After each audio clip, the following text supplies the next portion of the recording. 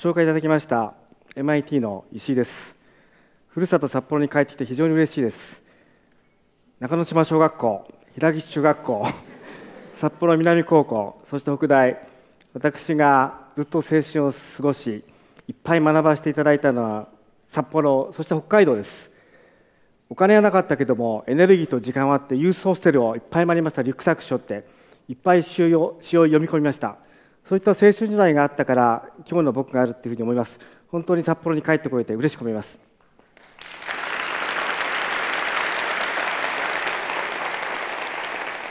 今日は未来について話をしたいと思います。ビジョン。理念にドライブされた研究によってどう未来を我々が作ろうとしているかそれをお話したいと思います。未来を予測する最大の最もいい方法は未来を invent すること発明することだ。The best way to predict the future is to invent というのはアラン・ケイの言った言葉です。それがまさに我々の guiding principle になっています。それはなぜ大事かというと、激しい変化、ものすごく急速な変化、そして変化自体がものすごく disruptive です。いくらマーケティングをしたりとか、線形予測をしても、その通りの未来というのは絶対来ない。続くその変化の波を越えて、どのようにデザインをしていくか、今我々はどこにいるのかさらにどこに向かっているのかその問いをいくらその激しい波まで問うてもわからない。未来を見るためには高い視座に高い高度に登ることが必要です。このサテライトのイメージのように。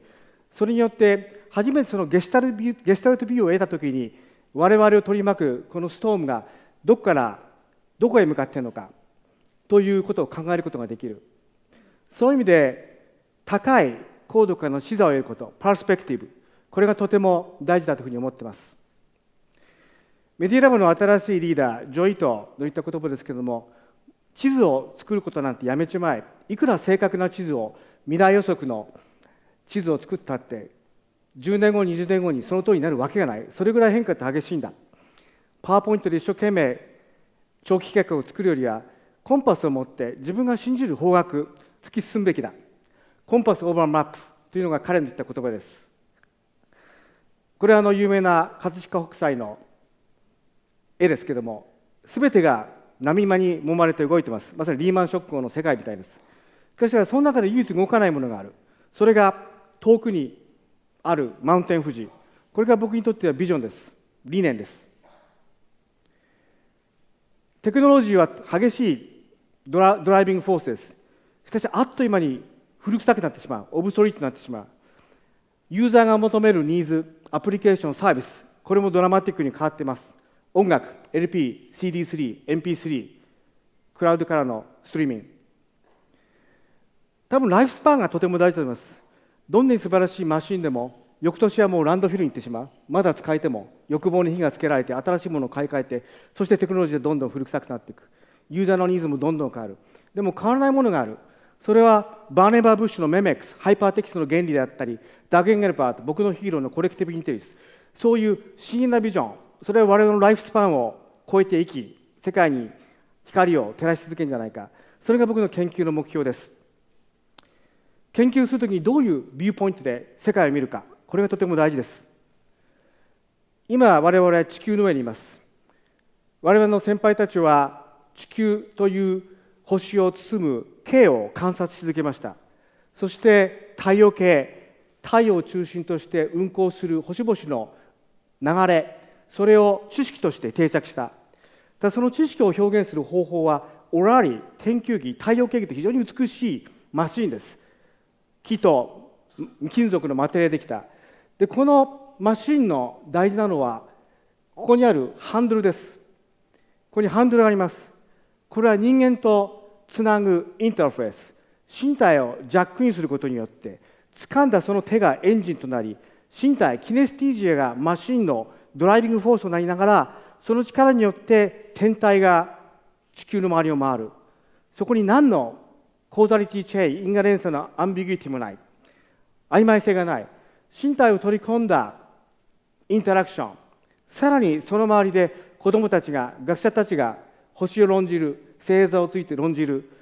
そういうコラボレーションをアフォードするパワー。あるいは美学。というのがこのマシンにあります。残念ながら今全てがピクセルになってしまっている。 intangible な。身体をつなぐ場所もない。私がその vision-driven の研究を始めた一つの出発点はデジタルとフィジカル。この dichotomy ですね。全てがデジタルの世界に吸収されてしまって vapor になってしまう。デジタルはものすごくパワフルですけどファンダメンタルな情報の表現がピクセルです。人間の retina にフォトンが当たるピクセルです。ピクセルはガラスの裏にあります。二次元のフラットなガラスの裏にあります。それはテレビでもコンピューターでもスマホでもタブレットも同じです。その intangible なピクセルについて何もできない。リモートコントロールがないと。だからマウスキーボードタッチスクリーン。タッチスクリーンでもスクリーンに触ったんで情報に触ってるわけじゃない。18年前私が MIT に行った時にリブートしろ。それまでやった仕事クリアボードとかいろいろやりましたけどそのやめちまえ。全く新しいことを始めろ。人生は短い。こんな贅沢ない。というふうにニゴラス・ンゴロポンテに挑戦されてそれで始めたのが単純ビッツです。これに氷山が見えますけども新しい情報表現水の底に沈んだんじゃなくてそれを水面上に持ってくる。そうすると水面から閉じた部分っていうのはフィジカルワードにある。したがって触れる。Embodiment of digital informations to interact with directly with your hands 直接身体を使って操作できる触れるコントロールできるそういう情報表現。というのが Tangible Bits の原点です。これが18年前に行った定義物理的な実体を与えようじゃないか情報と computation にそれによって直接操作できるようにしようじゃないか。しかしながらこれは非常に抽象的な概念です。これを説明するために具体的なアプリケーション価値のあるアプリケーションをいっぱい作らなきゃいけなかった。その最初の一つが ARP アーバンプランニングのためのシステムです。これはドクター・ジョン・ドクフラー最初の博士課程の学生がやったあのプロジェクトですご紹介しますこれはの都市計画をテーマにしています。都市計画で多くの建築、それをどういうふうに空間的に配置してデザインをしていくか。今、彼が掴んでいるビルディング、これはワイヤーフレームのフィジカルなモデルです。これが氷山の水面上の突出した白い部分です。この影、この影は computational な影です。オプティカルな光学の影じゃなくて計算した影です。フィジカルな表現がデジタルのシャドウを cast する。そして時計時計というのは時間を define するものですけれどもそれが逆に inverse clock 太陽の位置をそれによって変えてます。これによってビルディングが投げかける inter-shadow の問題などを explore することができます。両方の手を使って。さらに風ビルの周りを流れる風、それを流体力学、 Navier-Stokes equation を解いています。ビルディングをつかみ、触るたびに境界条件、 boundary condition が変わる。それによってナビエストークスの equation を再計算する。その結果をプロジェクションする。計算は机の下、あるいは水面の下で起きています。ただ水面水上面水面の上に突出しているフィジカルなビルディング、それがビルディングの表現であるときにコントロールである。すなわちコントロールと表現、インプットとアウトプット、そのバウンダリーがなくなる。これが単純ツの強烈な違いです。それによって2本の手、4本の手、複数の人々がコラボラティブに議論しながら多様なパラメーターを実験することができる。今、視覚メディアが基本にドミナントです。ピクセルがドミナントです。ピクセルは非常にパワフルです。皆さんがもしパッシブにカウチポテトでただ情報を消費する、あるいは時間をキルするのであれば、皆さんのレティナを打つフォトン、これほど効率のいい情報伝播の身ではありません。しかしここに来ている皆さんはクリエイターでありアーティストでありデザイナーである。デザイナーであればスケッチをしなきゃいけない。考えを外化しなきゃいけない。コリオグラファーであれば自分の身体を使ってダンスしなきゃいけない。もしミュージシャンであれば自分の身体を使ってピアノを弾いて曲を作んなきゃいけない。いかにアイデアを身体から外化していくか。そのための手。手がジャックインするインターフェース。それがない。だから単純筆を始めました。ボトルという作品を紹介したいと思います。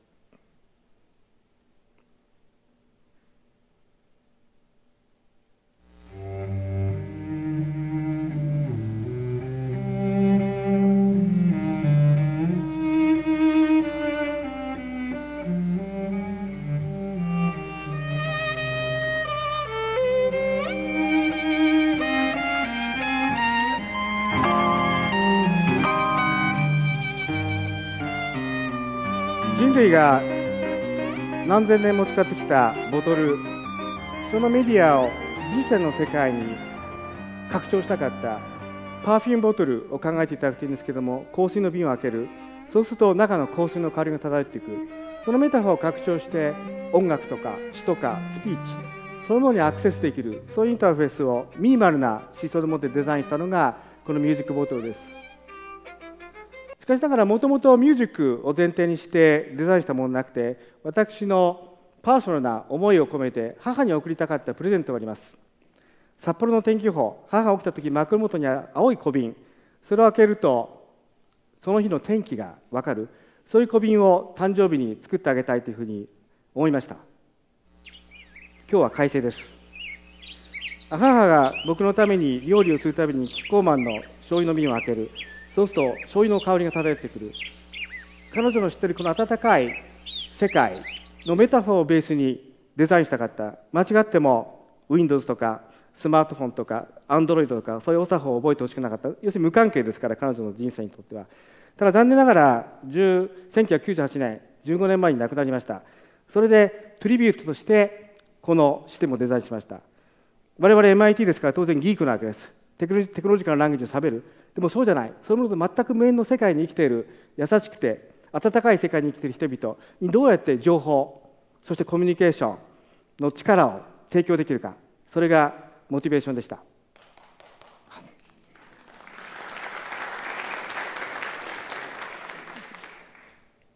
今朝墓参りに行ってきました。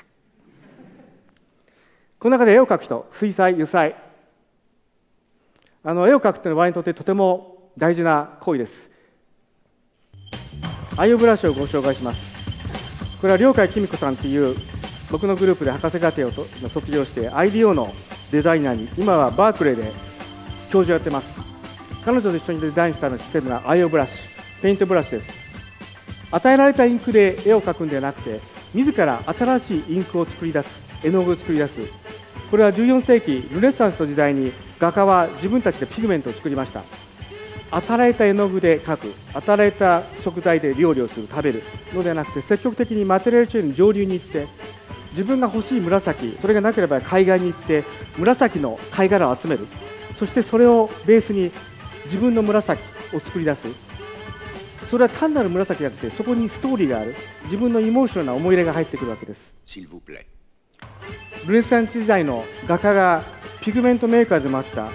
そのプラクティスを持ち込もう。今ワンコが言いましたけどこのワンコの白っていうのは決して Windows や Mac のカラーピッカーでは拾えない色です。なぜかというとイモーショナルアタッチメントがあるからです。あらゆる色にあらゆるストロークにストーリーがある。自分のイモーショナルな思い入れがある。アタッチメントがある。それをウィーブすることによって新しい芸術作品が作れるそういう世界を夢見ました。もちろんテクノロジーを使いますからテンポラルの見でも使える。八百屋さん八百屋さんに行くといっぱいフルーツが並んでる。ただそれを買って食べるんじゃなくてあるいは美しい紅葉を見たらただそれを見るだけじゃなくてそれを使ってどういう新しい芸術作品を作れるか。World as a Palette 世界はパレットだ。というのがメタメッセージです。アイオブラシを使ってインタラクションすると子供も大人も知らないうちに新しい眼鏡をかけている。その眼鏡を通して世界を見るとそれが新しい可能性を示している。帯広十勝マシューコその美しい紅葉を見たらそれを使ってどういう新しい作品が作れるか。絵画は寝台君が二次元の表面に貼り付いたものです。それは cave painting から oil painting までそうです。しかしながら今ここにテディベアご覧いただけますか？熊がいますよね。その熊から色が来てる。そしてどこからその色が来たかという origin が全部入ってます。各ストロークに。これは絵画からの departure です。絵画という何千年人類が発達させた素晴らしいアートピース。そのスタイルを踏襲しつつそれを超えるメカニズムがここです。3次元目の軸がある。3D の軸ですね。それは新しい解釈を待ってる。それは絵画には存在しなかった。彫刻にも存在しなかった。新しいディメンジョンです。それを幼稚園に持ってきました。彼女が素晴らしいのは MIT のおっさんなんか言うこと全く聞かない。ヒストリーと言ってもその聞いてない。これがインタラクションデザインやりもって最高の瞬間です。新しい表現エクスプレッションの可能性を作った。それを思いがけない意味付けを最もクリエイティブな人がしてくれた。さらに彼女たちが見る世界っていうのは違ってくる。世界がパレットになる。どんな作品を次に作ろうか。これはあのバルセロナにあのアートフューチャーというコンファレンス呼ばれていた時です。その時にバルセロナのマーケットあらゆる八百屋さん八百屋さん果物屋さんが素晴らしいネイチャーな色のパレットを提示してる。次の世代の子どもたちがアイオブラシで遊び世界中を旅した時どんな作品を作るかどんな作品をアップするか考えるととてもワクワクします。砂粘土。フォームギビングのマテリアとして私ども非常に興味があります。そのタクタルなフィードバック。サンドスケープという作品をご紹介します。これはアルセルトニカで展示した作品ですけども砂をスカルプティングするとどんどん形状をコンピューターが認知してcomputation のような annotation します。今高さ elevation でもって色がついてますけどもさらに water drainage 水の流れですね。今ベクトルを表示してます。シャドウとか water drainage いろんな computation の結果を inform することによって form giving の tangible な material でありながら computation のメディアである。これが Tangible Bits です。ただ残念なのはランドスケープってどんどん変わります。氷河が U シェイプのバリーを作るとか erosion mountain building。でもその過去の記憶を覚えてない。受け身のパッシブな砂だからです。粘土だからです。これがその次のジャンプラディカアトムスという今我々がエネルギーかけているビジョンの原動力になっています。単純ビッツ面白いけどもアトムの部分ってダンスしてくんない？皆さんプログラム書く人思いますか？コンピューターのプログラム書く人。結構いますね。皆さんコンピューターのプログラム書けばスクリーンの裏のピクセルを踊らせることができます。でもアトムフィジカル世界のマテリアルってダンスしてくんない？変形してくんない？硬さや柔らかさ変えてくんない？ computation に。そういうマテリアルができたらどうだろうか。 dynamic future material that transform, conform and inform 変形してくれる。あと僕が決める constraints を conform する。 programmability ですね。さらに inform どういう形状変化が可能かということを教えてくる affordance そういったマテリアルを envision しています。先ほどのサンドスケープと比べていただくといいんですけどもランドスケープデザインそこに shape shape display そしてメモリー形状変化のメモリーがある。自由にその形状を変化させることができる。それによって例えば Google Earth をマップして translation あるいはズームインズームアウトとする。と当然ですけれどもフィジカルなランドスケープがその上に現れるわけです。これの発展系としてですねタイムスケープっていう作品をつくりました。これから情報は2つの形でレンダリングされる。ピクセルだけじゃなくてフィジカルな世界にも。しかも同じ情報なわけです。全くシンクロナイゼーションしてる。何のずれもない。今このイロージョンの形をしましたけど時間変化した形状。それをリングですね。木製のリングのコントローラーでもって今タイムトラベルしてます。さらに直接マテリアルを触って押したり引っ張ったりして変形できる。これも粘土とか砂同じです。さらにジェスチャーですね。mid-air のジェスチャーを使うことによって新たな領域に対するコマンドを発することができる。すなわち全く新しいマテリアルそれとのインタラクションコミュニケーションそれが今の Radical Atoms の研究のテーマです。これが最新の研究成果です。ピンが1000本1000本のピンで激しく actuate します。 computation に。その上で踊る inert なマテリアルinter-material interaction。 computation control な surface そしてその上にあるマテリアルその間のダンス interaction 今まで全くなかった新しい dimension の interaction 人間の介入マテリアル同士のインタラクションが可能になります。もちろんピクセルで同じ表現できます。でもこれはとても scary です。ものすごいスピードです。しかもあなたとあなたの導入の間にあって完璧な 3D で触れる。このリアリティこの新しいマテリアルスラディカアトムスがどういう未来を作るかという研究をやっています。さらにグラビティサックス。我々は今地面にへばりついてます。なぜかと 1G なぜ 1G にコンストレントされなきゃいけないのかという問いから走ったジンナー・リーたちが始めたプロジェクト。それはゼロンという新しいマテリアルをインベンションしました。まだ周期表に載ってませんけどもこのマテリアルを掴んで空中に置くとそこにとどまります。ナンバー2コンピューターがどこにそれが存在しているかと正確に把握しています。ナンバー3コンピューターがそれを動かせます。人間も掴んで動かせる。コンピューターを動かせる。そういう全く新しいマテリアです。皆さん頭の上を見てください。大きな空間が広がってます。空があります。その空間って全くエクスプローラーされてない。使いようがない。なぜかというとサーフェスにスタックしてるからです。Take it for granted 1G を当たり前だと思ってそこで思考をストップしても構わない。でも新しい可能性を考えるとした場合それをなぜ 1G なのかそれをキャンセルしたらどんな世界ができるかどういう interaction design が space design ができるか考えたい。今太陽あるいは月が投げかけるシャドウあるいはケプラーの法則による天体の運行いろんなものを real world フィジカルな世界でもって実現することができます。今日急速に高速に述べていましたけど Painted Bitsグラフィカルユーザーインターフェースピクセルから始まり tangible そして Radical Atoms という vision-driven のリサーチをご紹介していました。なぜビジョンなのか。これは先ほど申しましたようにあっという間になくなってしまうテクノロジーとかどんどん消えてしまう needs-driven じゃなくて骨太の本当に長く生きるビジョン。それを driving force にしたい。そういう意味で未来を作るときにどんな未来が来てほしいか思い描く envision。そしてエンボディインプリメントする。そして人をインスパイアする。インベンターのインスパイア。それが僕らの未来のデザインのアプローチです。最後に2200というメッセージで終わりたいと思います。今日ディリップがあの声をかけてくれてふるさと札幌でお話をできて非常に嬉しく思います。これが今日の僕です。あの今後の予定です。2050年違う場所に参ります。2100年皆さんご一緒です。行いが良ければ未来は定年退職とか僕らの死で終わらない。世界はその後も永遠に存続します。2200年を生きている人々がいる。その人々に一体どのように思い出されたいのか何を彼らに残したいのかそれを毎日僕は自分自身にそして学生たちに問い続けています。メメントモリ死そしてその後に広がる永遠の未来。その未来こそ我々が責任を持ってデザインしていく未来じゃないかっていうふうに僕は思います。どうもご清聴ありがとうございました。